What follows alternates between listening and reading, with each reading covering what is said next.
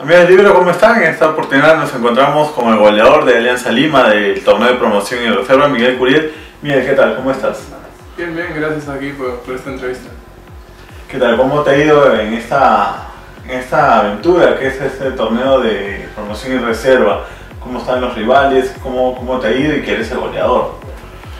Bueno, sí, al principio del año empecé muy bien con una racha de 6 goles en 3 partidos. Y, y nada, mi objetivo principal era jugar en el primer equipo, ¿no? Yo entrenaba todas las semanas con el objetivo de jugar en el primer equipo. Algunos partidos se dieron, pero no de la manera como esperaba.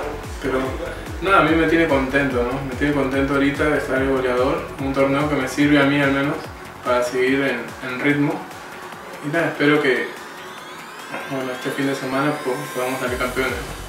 Claro, justo y incluso este torneo también ayuda al equipo principal, lo puede ayudar con esos puntos que, que suma a que sea ya el puntero y que decida el caso de un tercer partido o decidir la localía en esta final también. No, sí, yo creo que esta recta final es muy dura, tanto para Alianza como para los otros rivales que vienen atrás. Y yo creo que bueno, ahora nos toca un rival sumamente difícil que es Melgar, que ellos están jugando la baja y nosotros nos estamos jugando el primer lugar porque estamos solo a tres puntos de diferencia de Laureles. Así que creo que esos dos puntos de bonificación de la reserva van a ser muy importantes. Claro. ¿Y este torneo qué tan importante ha sido para el desarrollo del fútbol? Tú que, que lo estás viviendo ahí, que vives con, con chicos que no tienen oportunidad en el primer equipo, que recién están saliendo. ¿Qué tan importante es que aprendan, ya tengan un ritmo de juego que estén acostumbrados a jugar semana tras semana, como lo hace el primer equipo? Yo creo que es muy importante, ¿no? Porque en otros países eso se da desde, desde chiquitos, ¿no? Desde los 15, 14 años.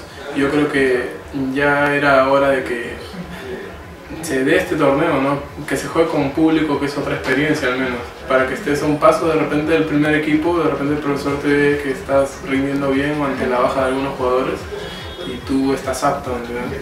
ya el miedo escénico es distinto, así que yo creo que es importante ¿no? el, torneo de reservas ahora. Y se ha reflejado este, esta importancia en lo que fue la Copa Libertadores Sub-20, que tanto Alianza como Universitario desarrollaron un gran papel.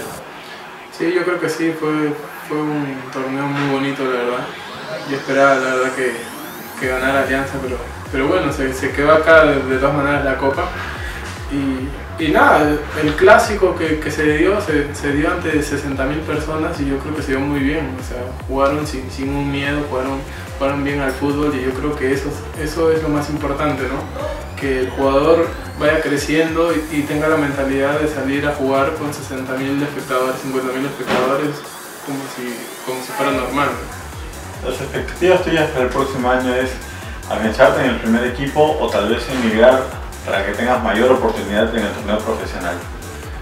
No, bueno, yo de mi futuro todavía yo no, yo, yo no sé nada, yo no hablo, yo espero primero salir campeón con Alianza, después voy a ver tranquilo qué es lo mejor para mí, porque yo necesito jugar en primera, yo de Boy fui a Alianza con, con la mentalidad de jugar en primera, con la mentalidad de campeonar, no se ha dado hasta ahora, o sea, he podido jugar sí en primera, pero no de la manera como yo quería, así que espero campeonar con Alianza y a fin de año voy a ver qué es lo mejor para mí qué equipos hay.